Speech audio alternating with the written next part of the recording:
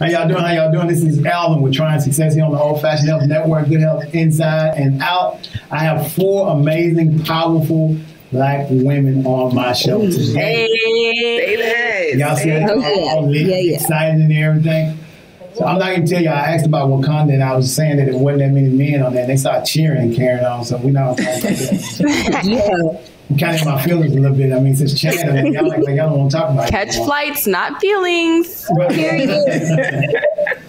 so how do you all how do you feel about the movie Wakanda versus the one that um what's her name? She just did one. She just did, Women King. Woman King. Good. That one was good. so you saw That was so good. okay. One of my I'm gonna be favorite movies. I feel I feel really bad, but I have not seen it. But You're I not plan alone. on it because I have to support. I have to support. Um, what's her name? Viola Davis. Viola Davis. Oh, it's Viola Davis. Um, yep. Dang, not what's her name? I'm so sorry. I'm so sorry. You know, No, I knew the movie was good. I brought my dad, and halfway through the movie, he whispered to me, he was like, "Man, I want to go beat somebody up right now." I said, "Yes, Dad. Yes." and that's what that's what we're all about. We're trying to create a platform for women to be vulnerable, to be open, to be themselves, and so we're all about women empowerment. I'm I'm about that action. It's time. I'm ready to step in. I'm just ready to go. So um, I'm serious. Like I think I think in our line of, of, of work in sport, we're starting to see the ripple effect of not only women empowerment but opportunities for women. So we've seen it happen with equal pay in sport. We've seen it happening with um, just opportunities and uh, career advancement. And I'm really just uh, wanting that to be sustainable, not necessarily a trend, but really, like Kayla said, um, while pipelines are happening and opportunities are increasing, providing a space for women and specifically black women to be able to talk through and navigating issues. Because you can build a space and you can create the room, but that doesn't mean the room is really refreshing, right? So, like, we go through things, we just have to be um, resilient. So, I'm just I'm just loving the switch up. She came in strong. I'm about that action. Why is it that um, people in general always think uh, that African American woman is angry? What do y'all think? I think it's um we're tired and we try to stay calm, mm-hmm. but we get pushed to our limits and it comes off as anger because we hold so much stuff in because we don't have the space to mm-hmm. say how we feel and we don't have people listening. So when it does come out, it might sound angry. That's um, that's we've talked about this before as a group. That's my initial thought. I was, I was also going to say because I feel like when people say angry or just classify an emotion, I'm like, what? What is telling you that I'm angry? Is it me mm. raising my voice? Is it me talking stern? Is it because I'm like standing with my head held ti- high? Like, what is angry? Like, or not like? smiling. Yeah, I was like, Right. is it, I was like, would you say the same for like if a man was doing that or like a white woman? Like, I just want to No. know like angry. Well, now, now, well, look, y'all, y'all know you don't hold your head up straight, and it- it's more like the neck roll and all that kind of thing. Y'all know you. And it's, uh, it's But- more- Let me keep my neck straight. Side I eye. was like, 'cause last time I, I don't know about neck. I know I talk with my hands, but neck roll is new for me. Yeah, I was like, everyone doesn't do the neck roll. I have. Mm-mm. Alvin, let me No. tell you something. There's been two times in my life, in my 29 years of my life, where my neck has rolled significantly, and I would agree. However, it takes a lot for me to get there. Right. But for me, when I'm not smiling or when I have a straight face, like that's natural for me. Like I'm thinking about so many different things. So the assumption is that I'm about to pop off, which I could, but I choose not to. Um, the assumption is I'm about to pop off, but really I'm just trying to manage all kinds of past things that have happened and not take it out on you. So like, Okay. I just think that like it's it's like a, having a bunch of each microaggression that we have and that we receive is a mosquito bite, and by the mm. time we done with the dang month, we swollen, so we about to blow up. Like, Yeah. it just adds on, and I don't know. Sometimes I've seen red. I call being really angry seeing red, and it's happened twice in my life. Highly warranted, but it doesn't happen too often. Grace, you- Kim, what you got?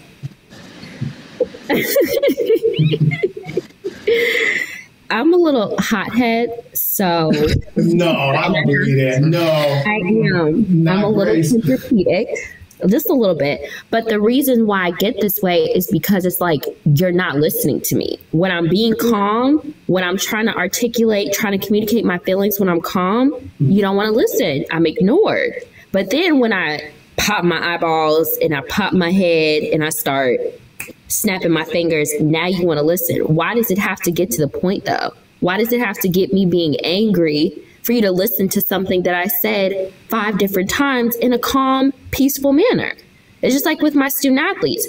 I asked you three times to write this essay. Three times. Now you want to wait till 11 o'clock and it's due at 11.59. And now I'm about to be nice? Why is it write this essay right now. I'm not about to play with you. Why does it have to come to that for you to write it when I asked you three times nicely? So it's just like that. It's like, why can't, why does it, why do people feel that they need to push black women to the limit for them to listen to them? Mm. That's the part that kills me. Mm. I'll also so I know I asked a question earlier. That wasn't really my response. It was just trying to clarify. But I know for me, as you can see on this call, I smile a lot, and I think I smile a lot of people into smiling. So when people see me kind of like not smiling, they automatically assume the world is ending. When really I could just, like Sable said, be thinking about a lot of stuff, or maybe it's not a smiling situation. Like I, I think I naturally smile just cause, but like when I'm It's a smile situation. yeah, Okay. I just like what Grace said. I just need you to do what I say at this particular. Yeah. um, do you all believe you hear a lot more about people uh, needing counseling or need to talk to somebody, get you a counselor to bounce things off all the time? Do you think that's like more of a trend out of the just to be part of the trend, or do you think there that's something people really need to have a therapist? Sometimes we need somebody to talk to. Do you all think that's part of a trend, or do you think that's something that's warranted? I think, to be honest with you, um, I feel like it's now not becoming so much of a taboo within our community to talk about either seeking counsel or therapy because it's like either leave it to God or like, you know, whatever the thing may be. Um, I actually heard on a podcast recently that therapy is almost like maintaining your self care, is another form of self care. And so a lot of times, like, we have so much stuff going going coming at us and we have to problem solve. And a lot of times you just don't know what to do. So talking it with somebody who's trained in that area is more so like helping you work through your problem solving as opposed to bringing problems to them. I think therapy is kind of sanctioned as like oh you got to be going through life in order to see somebody when it's like no i just need maintenance of my mind or i don't know something like that. Yeah. I I'm someone who is a huge proponent proponent of therapy. I really feel like it's changed my life, like and saved me from a lot of situations and things. The thing about therapy for me is that I think there's times in your life where you might need more frequency of therapy than you might in other seasons of your life. So I think like of course there's some people who need to see a therapist every single week or at a higher cadence than um, maybe not. So I think like for me, a goal when I'm seeing therapy and transparently, like right now, I'm like, I need to up my cadence. Like I need to go see someone a little bit more frequently. But my goal is to get to a point where it's not as frequent. Like it's a more of a maintenance, um, practice or like self care for me. But there's just sometimes where the frequency needs to be higher or whatever. So there's been I specifically there's been times in my life where I definitely should have had a therapist. As a student athlete, I 100% should have had a therapist. But when I got out of being a student athlete, I was just dealing with a lot of life things um, and therapy literally because if I didn't go to therapy like I it like literally was would have been really dangerous. So I'm always gonna vote for therapy. But I do think some people um, have to like really understand the realness of therapy. Like you can't just go online and find a therapist. Like it's a journey. It is you have to stick with it. You have to, it's not easy just to like it's almost like finding a partner. Like you can go on you can't the first date like normally i mean shoot you got to get to know somebody like you can't just be open, all open you know so it's a whole process Okay. Yeah, I think me and Sable actually were just talking about this this weekend a lot, like for a long time. And I think in our community, we're not used to having access. Um, and I, talking to my mom, I think we're as Black people just really used to being in survival mode, and so we don't have a chance we haven't been afforded the chance to be able to sit back with our thoughts because it's been go, go, go, go, go, or how do I stay mm-hmm. alive? How do I do this, do that, take care of my family? And our generation has a luxury to slow down a little bit. But with slowing down, I think a part of that is dealing with our emotions a little bit more and mm-hmm. going to therapy to do that. So it's just I like I talked to my mom for so long about that this weekend. Just our our generation is different, and we're taking advantage of these opportunities that our grandmothers, great grandmothers, grandfathers haven't had. But I think it's super important because there's so many things from your childhood, even or experiences that you don't realize have an impact on your actions. Mm-hmm. And someone that doesn't know you fully and has training to understand right. these things. Mm-hmm can help you uncover because if you don't resolve those things within you, it just can manifest in some bad ways or some negative ways. So I'm a huge proponent of it. I go every Thursday, so I'm all for it. Great.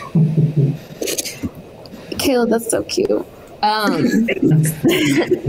I agree. I think therapy is important. I think the key to finding a good therapist, just like how Sable was saying when you're dating, is just like looking around and just making sure everything is the right fit. Um, I had a really good therapist when I was living in Illinois, and then when I moved, I couldn't have her anymore, and I felt like she broke up with me. Like I felt like. You know, because she knew everything about me. Like that was my girl. Like I just felt like we had broke up. It was really sad.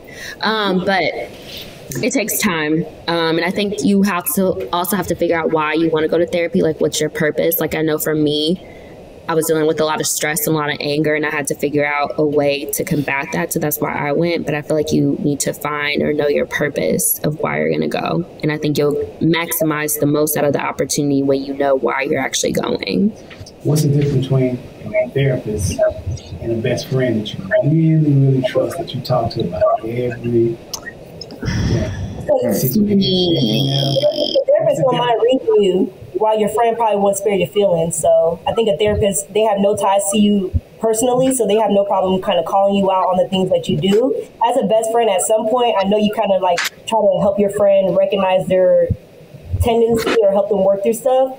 And I mean, I don't know about y'all. A lot of times you be like, mm, okay, I, I, hear you, but like I don't really hear you, as opposed to like somebody who don't know you and calls those things out. That's just my opinion. Yeah. I have some best friends that are really good for just simply pulling up. Like um, they just tell me, I, I tell them my issue, and they're like, "What's up? Where we meeting? Like what we need to do?" And that's how the problem is solved. Versus a like therapist like. a therapist is like, what is our action plan? What did you think about? Like, let's go, yeah. dissect these issues so that this doesn't happen again. Whereas my best friend's like, okay, like, are you good? Oh, hmm. what's up? Like, who are we talking about? Just send me the ad. Who we talking about? Instead of being like, ma'am, what was your responsibility in this, though? Because, like, it's a two way street. Some of my best friends, they just, that look, it's a different role. But in all seriousness, I really do think that a therapist can help you recognize your responsibility in situations and then also help you have grace for yourself for um, family patterns that you just didn't even realize before, right? So, like a trained professional can really understand those types of things. Mm-hmm. Whereas like my best friend, she's probably like, hey, like she probably sees like, hey, I see sometimes like you and your mom, you don't really vibe. Like your mom be mm-hmm. tripping sometimes. I know, right, sis? Versus a therapist is like, let's talk about the patterns, like generational patterns and things right. like that. Like really, and then having grace for yourself. Um, because of those things, like I just think it's more of a action plan and making sure that that situation doesn't happen again or being able to recognize your responsibility and things versus a best friend just supporting emotionally. And if so and needing to pull up they can. So. Grace? So what's your thoughts between the best friend and the trained therapist so i think it depends on the friend you're talking to but I think that a therapist is like they're professional.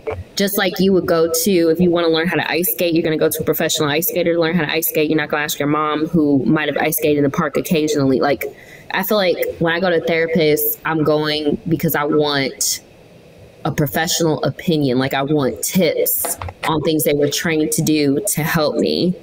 Um, and I know my best friends, they give great advice. And I feel like there's certain things that you approach your best friends with, but I know there's certain things that I'll approach my therapist with. They're trained professionals that can help you dig deeper into your issues. Unless your best friend is a trained therapist, which they might be. But I think it's just a big difference. Much. I appreciate it. this was so much fun. Uh, This is fun. I look to be on y'all show again. Yes, please. Y'all take it easy. Y'all have a nice rest of the week. Thank And you so much. much. Thank you. All right, y'all take it easy. All right. Bye. Bye. Bye.